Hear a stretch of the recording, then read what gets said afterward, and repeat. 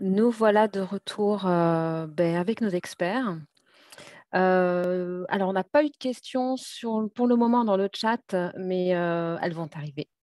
Je propose donc à nos experts qui vont répondre à toutes vos questions, de rallumer leur caméra et de se présenter. Alors Philippe, je te passe la parole, je crois que tu es, la 1re caméra allumée, c'est toi. Très bien. Eh bien, donc enchanté, donc Philippe Passy, effectivement, chef de projet au GRAD IES Sud, en charge d'accompagner le médico-social dans sa transformation numérique. Je suis expert numérique à l'ANAP et préalablement un parcours dans le sanitaire, médico-social et un petit peu dans le, dans le tertiaire également. Donc ravi d'être avec vous pour partager ces moments. Merci. Abdou, je te laisse te présenter. Abdou Diallo, donc, euh, je suis directeur général de deux structures, un groupement d'employeurs qui a été créé en 1995 dans le médico-social, hein, avec comme but de mutualiser des fonctions support, compta, gestion, paye et système d'information. Et depuis peu, je suis directeur général de l'APIO, une association donc, euh, qui gère 29 structures et qui a un projet de mutualisation avec une autre petite association. Et je suis expert numérique à l'ANAP. Merci. Bien sûr, ça, la question a été posée, hein, les supports seront disponibles. on a mis un petit lien dans la conversation, on va, on va le remettre et on n'hésitera pas à communiquer hein, sur, sur ces liens-là. N'hésitez pas à poser des questions. On, va en commencer tout de suite. Tout d'abord, on, voilà, on voulait aborder avec, avec des experts qui nous, qui nous racontent un peu cette, cette trajectoire pour une démarche de mutualisation. Est-ce que vous pouvez nous parler de votre expérience, de ce que vous avez euh, vécu, traversé, euh, essayé et ce qui parfois ne marche pas trop? Qui veut commencer? Abdou, peut-être? Allez, Abdou, oui, donc allez, je, je vais me lancer. donc, euh, donc euh, voilà, moi, les- donc, je suis directeur d'un groupement qui a été créé en 1995 hein, avec comme euh, objectif de mutualiser des fonctions support de la part de petites associations. Et on a toujours travaillé sur, en fonction de l'évolu- l'évolution des besoins de ces petites associations. Et c'est là où c'est arrivé jusqu'à une mutualisation euh, du système d'information dans les outils de gestion. Et donc, euh, ce que, après ces quelques années d'expérience de la mutualisation, ce que, ce que je note, c'est d'abord le premier élément qui nous a servi, qui nous a permis de réussir cette euh, mutualisation, ça a été la confiance entre les acteurs, confiance entre les associations. Et c'est ce qui nous a permis de nous lancer dans, un, dans ce processus. Et on a eu des échecs aussi, hein, donc, euh, des, parce que même dans le groupement qui a été créé en 1995, d'autres sont partis. On a commencé avec euh, cinq associations dans ce groupement. Aujourd'hui, il y a 27 associations qui font partie de ce groupement sur 12, régions, euh, 12 départements, 5 euh, régions administratives. Donc, euh, ce qui fait que il y a eu des allées, des retours. Donc, et ce que j'ai noté dans cette expérience de la mutualisation, c'est vraiment l'élément confiance qui, peut, qui n'était pas tellement vu au départ. Au départ, c'était beaucoup plus une approche technique, c'est-à-dire on va mutualiser, ou une approche financière. Et je me rends compte qu'avec l'expérience, les, les départs se sont beaucoup plus euh, effectués à partir de critères ni financiers ni techniques, mais sûrement une rupture de confiance au sein du groupement. Donc, ce qui fait que cet élément de confiance, je pense que euh, c'est un élément essentiel. Aujourd'hui, on est 27 associations, on a pu mener à bien une, créer une grappe parmi ces 27 associations, alors que on avait évoqué la trajectoire médico-sociale. Euh, toutes ces 27 associations avaient eu toutes les informations pour participer à ce processus. Finalement, dans, le cadre du plan SMS numérique, il n'y a eu que sept associations de sept départements représentant 49 ESMS qui ont quand même décidé d'aller ensemble dans, ce, dans, ce, dans cette candidature commune. Et là aussi, c'est cette association, le repère, c'est le point fondamental, c'était ces sept associations qui, ont, qui se connaissent depuis longtemps, qui ont souvent fait des projets en dehors du numérique ni de la compta, mais qui ont travaillé sur des échanges d'expériences, sur la, les créations de structures. Et donc, c'est cette association donc, ont pu se mobiliser facilement pour travailler ensemble à définir une grappe. Et aujourd'hui, on est en phase de, comment dirais-je, de, de, mise en place de, de paramétrage du logiciel.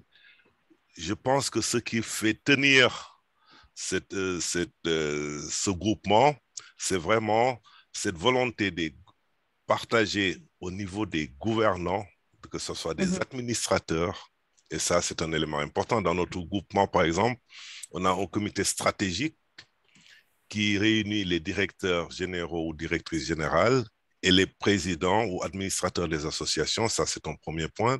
Et ensuite, derrière, on a un comité opérationnel euh, comité de pilotage où là, on va redescendre sur euh, euh, beaucoup plus les directions d'établissement, des référents métiers qui font partie de ce comité opérationnel. Et souvent, et ça a été mentionné, c'est d'être très clair dans les instances de gouvernance avec des échanges d'informations, que chacun a son rôle.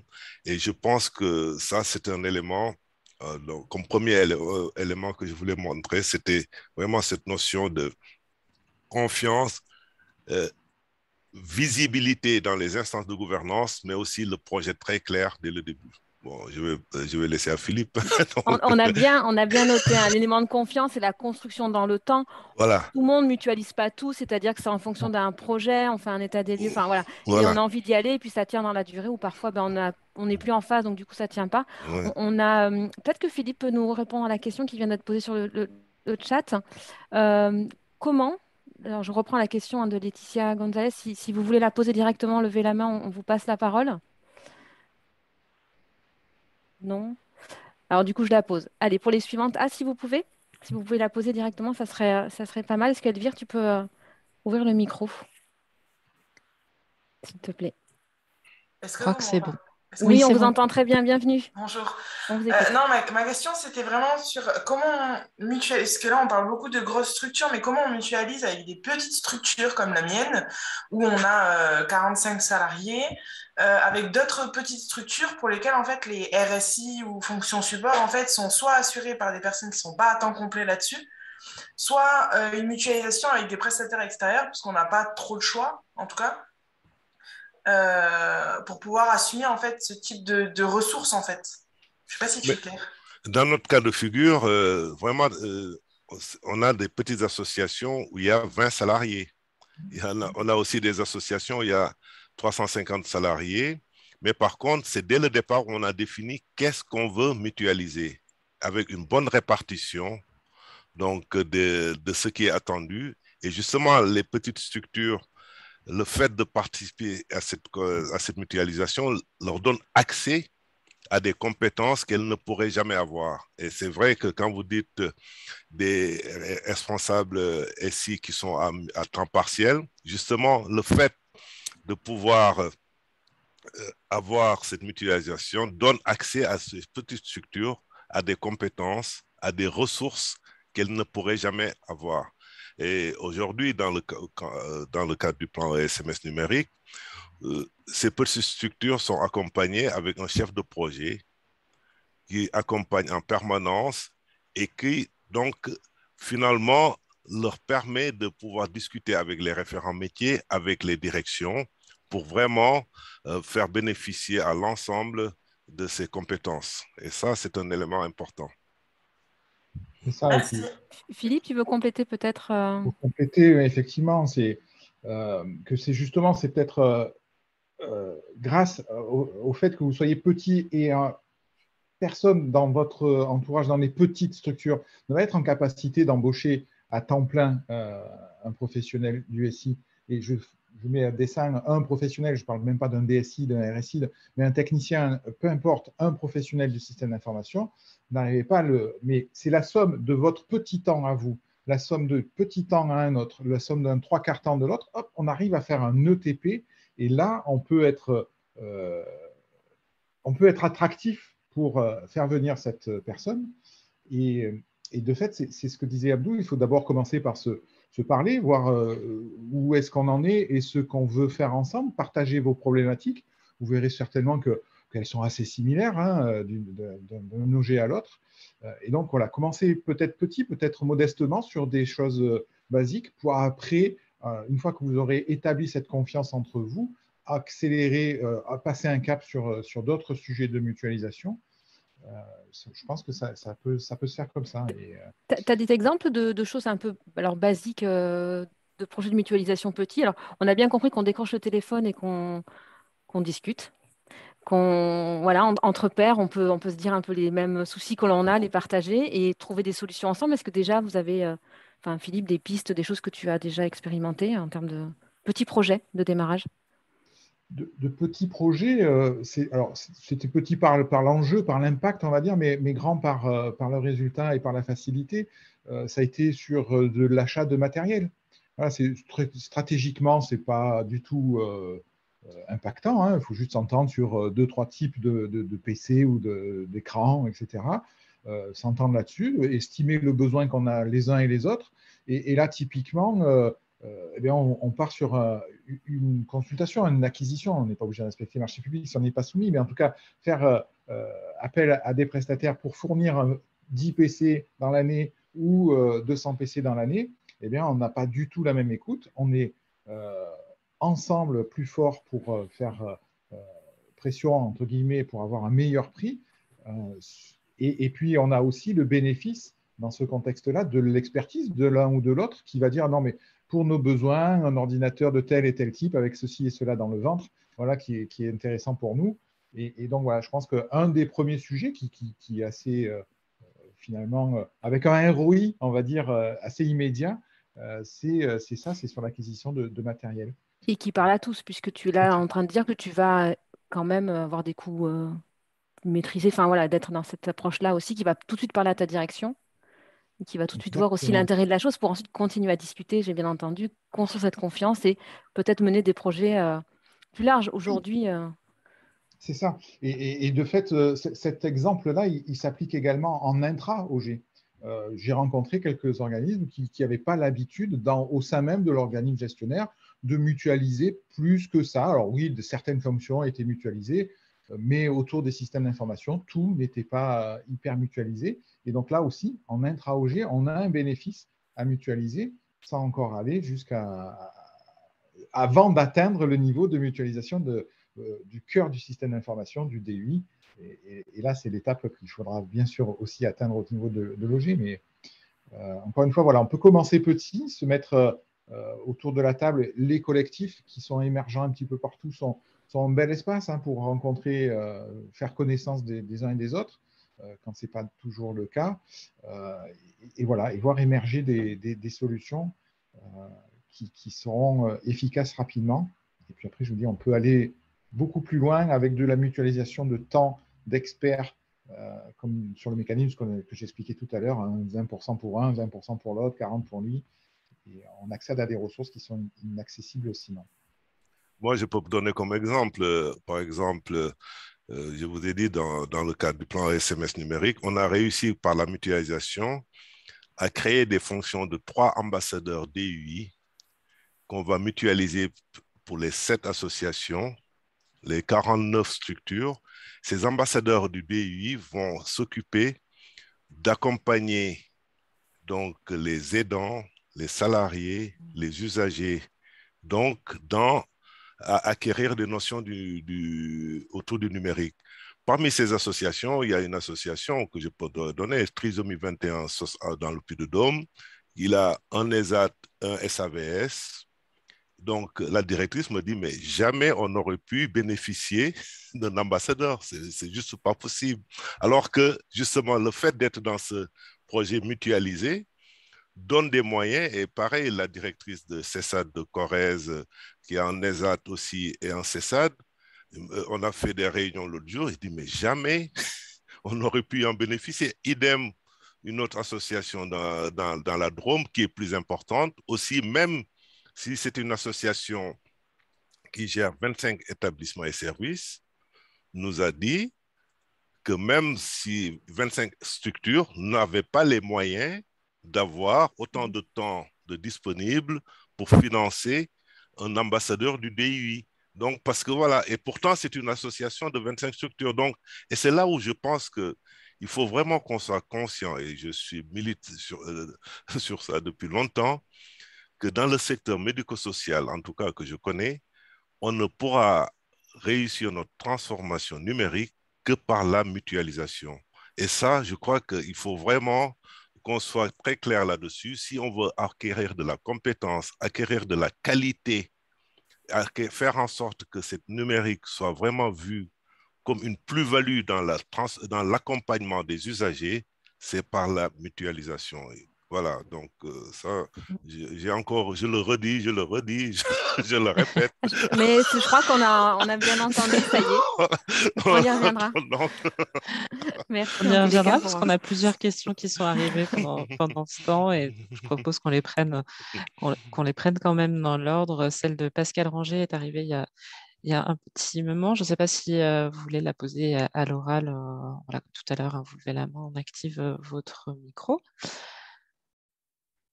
Sinon, je, la pose moi. Si, c'est Elvire, je veux bien que tu actives euh, du coup le micro de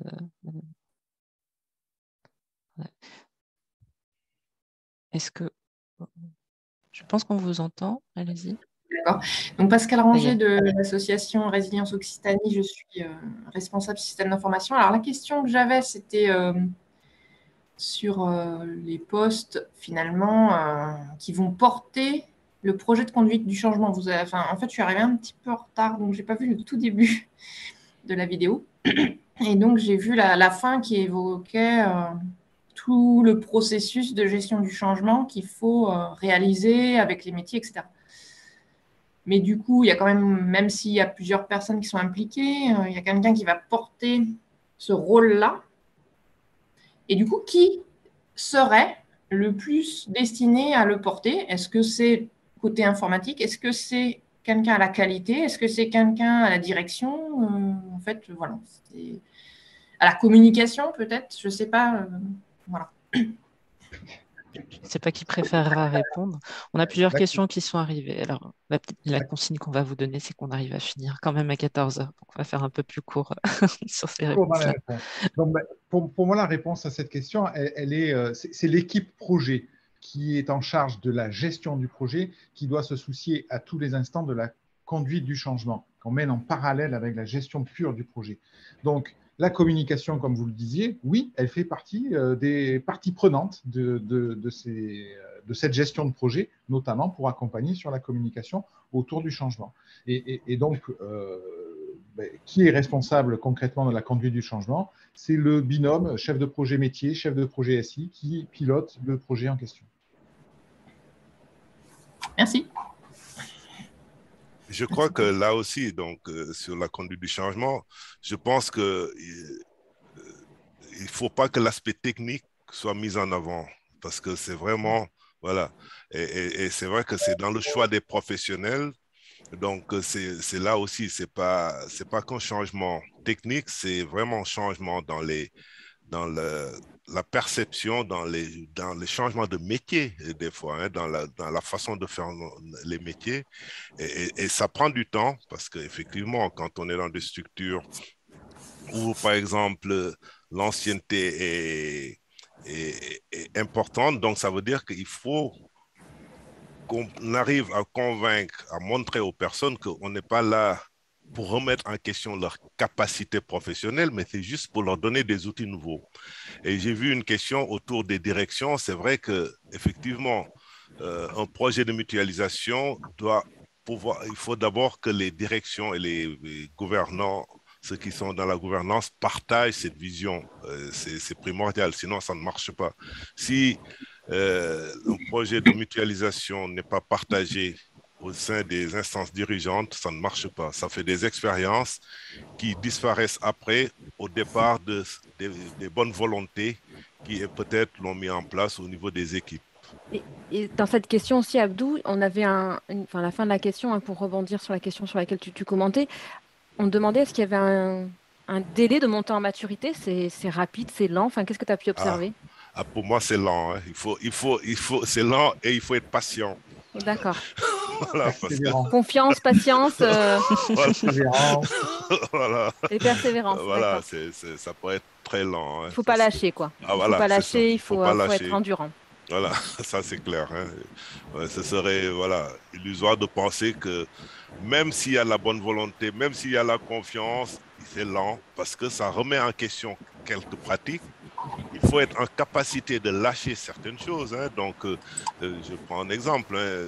Philippe parlait de l'achat de matériel. Il faut qu'on soit en capacité de dire, mais peut-être qu'on travaillera plus avec tel fournisseur qui nous fournit le matériel depuis 10 ans, 15 ans, qui, était presque chez lui, donc euh, qui avait presque les clés de la maison. Donc, voilà, c'est ça aussi. Hein.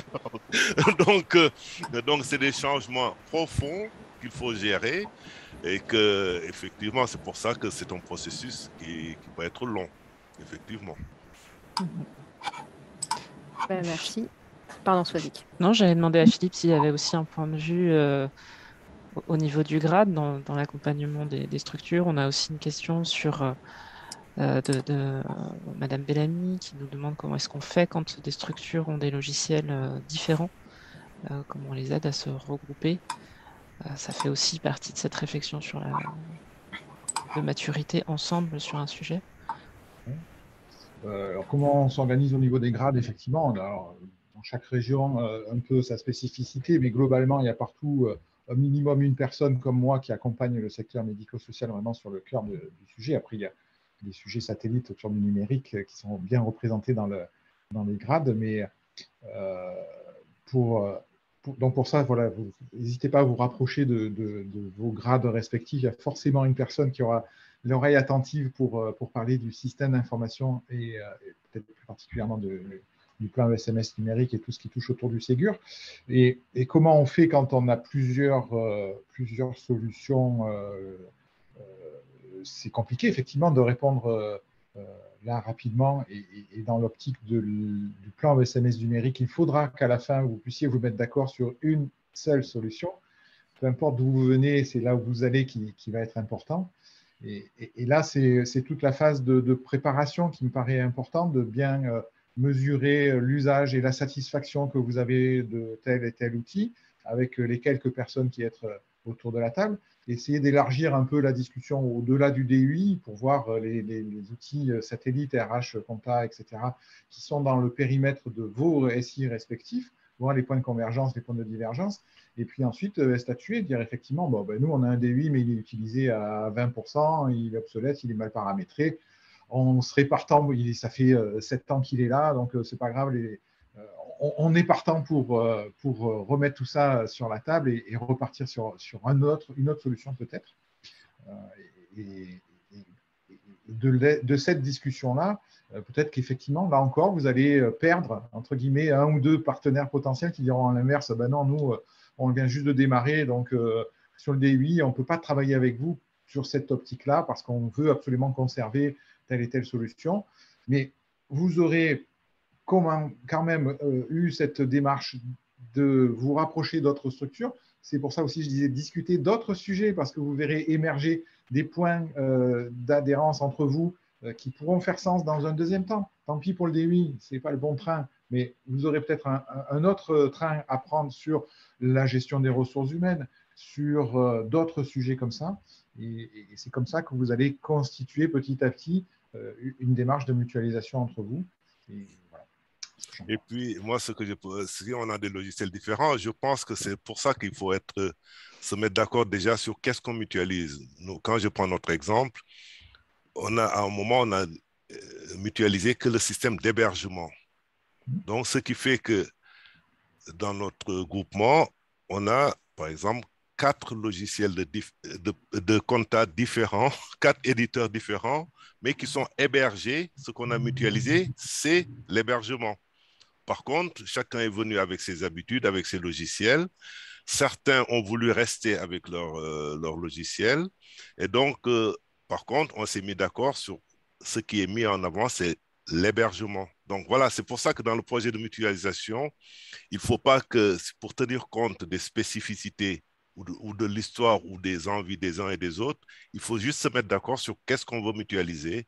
Ça ne veut pas dire que tout le monde va fonctionner pareil, mais qu'effectivement, les éléments qui sont partagés, par contre, il faut être très clair là-dessus. Et c'est là où il faut vraiment euh, définir euh, une cohérence. Mais nous, il y, a, il il y a cinq logiciels de pays différents, donc on a tous les idées.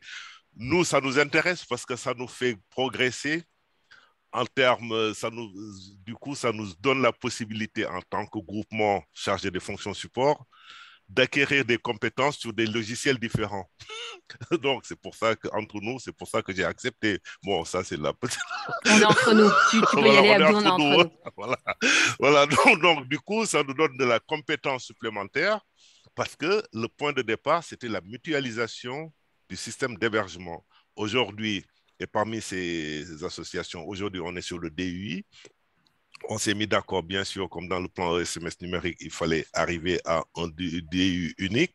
Donc, on s'est mis d'accord. Mais là aussi, dans le choix du DU, il a fallu organiser.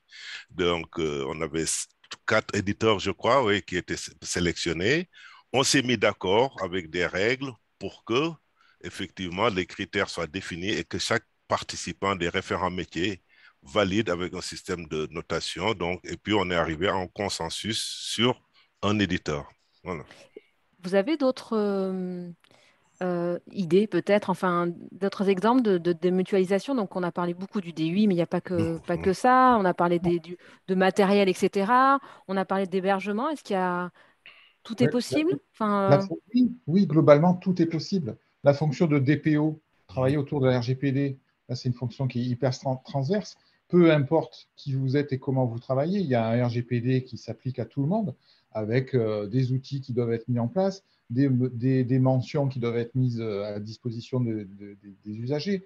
Donc le DPO, c'est un bel exemple aussi de poste que vous n'arriverez peut-être jamais à vous payer à temps plein, euh, mais par contre, un poste mutualisé de DPO qui amène cette compétence, cette expertise métier qui est la sienne, qui va redispatcher à, à, la juste hauteur du besoin de chacun voilà, ça, c'est un, poste euh, comme ça.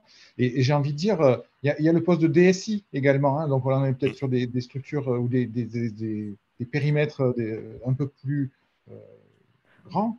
Mais cette fonction de DSI qui est le métier de directeur ou directrice des systèmes d'information, qui doit être le, lien entre la technique et la stratégie de la structure, où on a souvent un petit peu mm. peur euh, justement de ça, de dire oh là là, mais c'est euh, moi je vais lui donner toutes mes informations, il va avoir euh, toute ma stratégie. là, je pense que c'est pareil, c'est quelque chose qu'on sait parfaitement cadrer et, ça fait partie de la, de la déontologie du métier. Et, et, en plus, on sait le cadrer avec des, clauses de confidentialité. C'est un poste qui va avoir de la valeur ajoutée pour toutes les structures parce que c'est encore, mm-hmm. comme le DPO, c'est une sorte d'expertise euh, et, de savoir-faire, d'être vraiment ce lien entre, stratégie euh, et, technique. Et un autre poste qui me semble assez intéressant à pouvoir mutualiser. On a eu des petites propositions aussi dans le chat. Hein. On a la, fonction de DSI ou de responsable d'application, DPO, RSSI, on l'a dit. Donc, euh, je pense que voilà, ça ne doit pas s'arrêter. À... Oui, oui, il y a le, référent DUI, comme l'a dit tout à l'heure Abdou, le, médiateur. L'ambassadeur, oui médiateur numérique, c'est un poste mm. qui pourrait euh, voir jour euh, dans les... C'est un besoin en tout cas, je ne sais pas quand il sera concrètement vraiment euh, mm. déployé dans beaucoup de structures, mais en tout cas c'est un poste qui, qui, fait sens, qui encore une fois, j'ai, on reprend deux, deux, deux, deux ESAT ou trois établissements, ben, je n'ai pas un besoin de, de prendre une personne à temps plein par contre, quand euh, cette personne euh, va pouvoir travailler pour euh, plusieurs OG, amener 4 heures par-ci, un jour par-là, et, on va travailler sur apporter de la compétence auprès des salariés, auprès des usagers, mhm. autour de l'usage des, outils numériques de manière très, très, très, globale. Parfait. Est-ce qu'on prend une... Alors, on a eu des questions qui sont arrivées dans le chat. Est-ce qu'on peut peut-être rallumer le micro? Alors, on va peut-être prendre une question. Alors, laquelle on n'a pas traité encore, Soazic Alors, il y a une dernière qui est arrivée d'Heidi Thierry. Est-ce que vous voulez bien nous la poser en direct? Vous levez la main pour vous manifester. Ou alors on la, on la lit. C'est bon, elle a levé la main. Bonjour. Bonjour. Bienvenue, on vous écoute. Euh, non, euh, alors j'ai reçu des informations au sujet des diagnostics auto-diagnostics à réaliser euh, dans le cadre où on, s'est constitué en grappe hein, déjà. on a une réponse positive à l'appel à projet dans le cadre du programme SMS numérique. Euh, on a réuni une première fois un groupe utilisateur. Euh, la stratégie, euh, enfin disons que les objectifs sont à peu près définis ou sont en cours. L'objectif de la mutualisation, c'est très clairement l'acquisition du débit. Là, ma question, c'est, nous, on n'a pas encore euh, réalisé ces diagnostics. Moi, j'ai commencé à travailler un petit peu sur la cartographie euh, proposée par la NAP. Euh, je me demande si ces diagnostics, je dois les faire, les lancer en amont, à quel point ça peut être lourd à mener sur, nous, on on a 29 établissements là sur la grappe. Euh, voilà, j'avais besoin un peu d'éclairage sur ces diagnostics, voir euh, est-ce que c'est indispensable de passer par là, en quoi c'est aidant pour réaliser ensuite la cartographie, euh, voilà. Alors, moi, je peux vous expliquer comment nous avons fait. Hein. Donc, ce que nous avons fait, effectivement, on a réalisé des diagnostics par OG à, partir de l'outil d'auto-évaluation de, de, la NAP. Hein. Donc, chaque OG a, répondu à travers ce questionnaire. Ça a permis de repréciser, parce qu'effectivement, quand on a répondu à l'appel à projet, c'était beaucoup plus une réponse politique ou globale, mais ensuite, avant de faire l'élaboration des, besoins. Donc, on a réussi à faire ce diagnostic qui n'est pas long du tout parce qu'on l'a fait par OG. Donc, il y avait sept OG, donc on n'a pas eu besoin d'aller jusqu'aux 49 structures. Mais quand même, ça nous a donné une idée sur qu'est-ce qu'il fallait privilégier. Et c'est comme ça qu'on s'est rendu compte que, comme pour le DUI, il fallait euh, un VPN sécurisé, tout ça, et que tout le monde n'était pas équipé, donc, du coup, on, a mutualisé l'achat de solutions SD1. Je prends, bon, donc, on a mutualisé cette, donc pour les différents sites pour être sûr qu'effectivement, on ne risquait pas d'avoir des soucis lors de la mise en euh, œuvre de ce projet concrètement. Donc, ce diagnostic, on l'a fait, mais ça a été très rapide. Hein, ça nous a pas... Donc, c'est un oui et tu l'as fait par Roger. La stratégie, c'est de le faire par, Roger, parce que du coup, c'était trop, enfin, c'était pas intéressant de le faire par ESN. Voilà, c'était par Roger, oui. D'accord. Et du coup, vous avez pu euh, partager les réponses. Enfin, Philippe, euh, voilà. compléter. Mmh. Oui, oui, je pense aussi que c'est indispensable. C'est indispensable à deux égards. C'est pour vous, directeur, directrice d'établissement, mmh. de de mesurer, on en parlait tout à l'heure, de la compréhension de l'appétence que vous pouvez avoir de, la nécessité du numérique aujourd'hui, et en réalisant ce diagnostic, ça va vous faire peut-être prendre conscience effectivement de certains sujets où vous pensiez légitimement euh, plutôt euh, bien, mais finalement, euh, on s'aperçoit que ah ben non, la préconisation, elle n'est pas celle que j'imaginais. Donc la première chose, c'est se connaître, prendre du recul sur sa situation pour ensuite aller partager encore une fois avec ses collègues en disant voilà, moi j'en suis à ce niveau-là, et, du coup, ça permet d'enchaîner, comme vient de le dire Abdou, sur Ah ben oui, je n'avais pas conscience qu'il me fallait du, des liens sécurisés. J'ai bien des liens Internet, hein, oui, ok, mais ils ne sont pas sécurisés comme on vient de me l'expliquer là. Donc, euh, bah, je, suis preneur aussi pour me mettre avec vous, euh, chers, chers collègues, sur mmh. euh, une solution d'Internet sécurisée. Donc, on, reste sur le, Donc, oui, oui, oui, on, fait. On fait. on n'hésite pas. On fait un autodiag. Voilà. On, fait de l'introspection pour se connaître. Ensuite, on va discuter avec ses collègues pour voir où ils en sont eux aussi. Je pense que c'est des outils qui sont nécessaires. Est-ce qu'on prend une. Alors, il ne nous reste plus beaucoup de temps et on a une... Encore une toute petite reste question. Enfin, une petite. Une dernière question. La, question est un peu oui ou non finalement. Une dernière question de, Stéphane Rousseau. Euh, euh, si, vous êtes pas loin de votre clavier, vous pouvez la poser à, l'oral. Il nous reste quelques minutes. On peut aussi faire assez vite.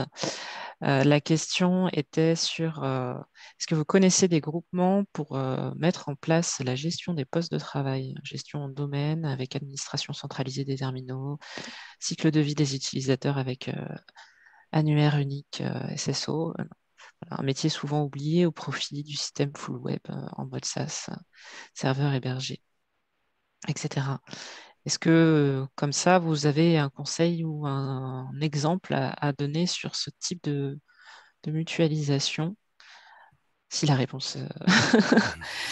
oui, j'ai oublié le nom. Euh, mais oui, je sais que dans, pas en région PACA, mais ça existe. Euh, je crois que c'est Auvergne-Rhône-Alpes, où effectivement il y a. Je, confirme. je confirme. je confirme. Il est vraiment euh, axé sur ce type de mutualisation. Vous avez mm. raison. Mm. Mutualiser, ça ne veut pas dire externaliser. Donc, mm c'est pas parce que vous. Voilà, il faut.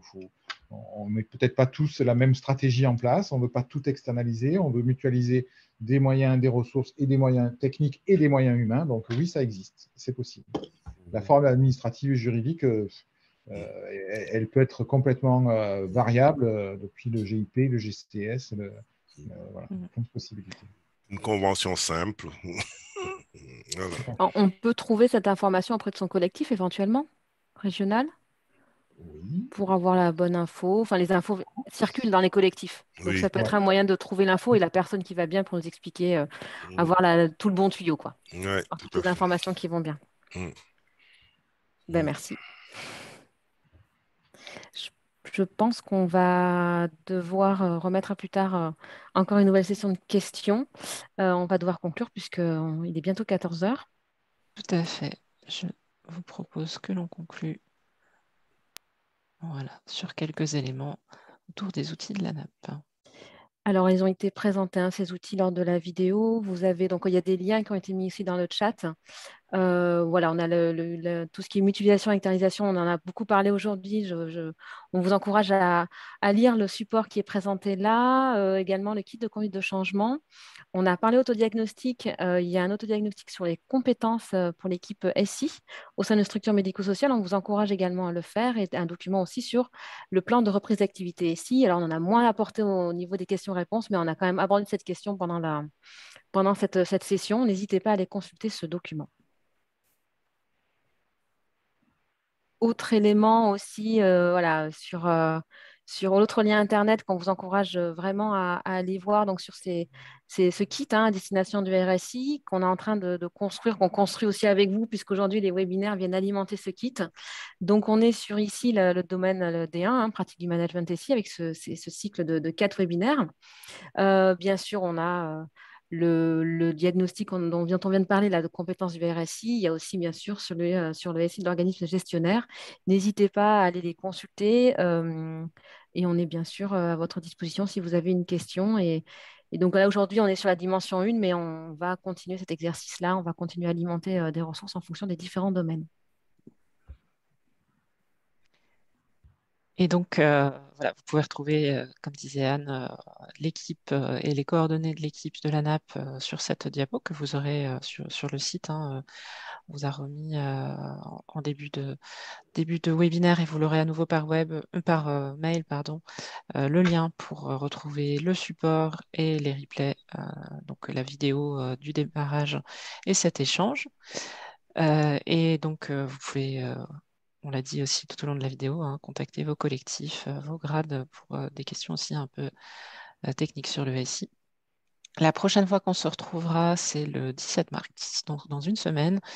Et le contenu est la suite du webinaire d'approfondissement qui a eu lieu le 3 mars, où on parlera un peu plus précisément du rôle d'un RSI, d'un DSI, des instances de pilotage et des, processus sur la mise en place d'un service informatique.